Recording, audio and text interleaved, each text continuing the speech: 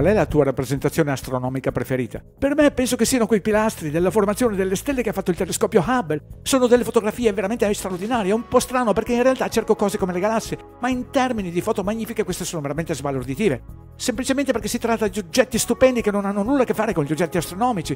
Ho visto questa rappresentazione in una galleria d'arte, è una bellissima fotografia, ci sono stelle brillanti che spuntano fuori dalla fotografia, una specie di sfolgorii lontani su questi pilastri, vedere questi pilastri di gas in mezzo alle stelle che sembrano saltare fuori da essi e da un punto di vista scientifico è una veduta affascinante, fondamentalmente perché è una fotografia bellissima. Penso che il mio pensiero favorito è qualcosa che non puoi vedere ad occhio nudo, perché è il profondo campo del Hubble, quelle immagini, quelle dove tu guardi e ti rendi conto che ci sono dei tenui oggetti blu in quelle immagini che sono vecchi, sai, circa 10 miliardi di anni. Allora pensi semplicemente che non stai guardando niente. Questa luce ha viaggiato per 10 miliardi di anni ed è eccezionale.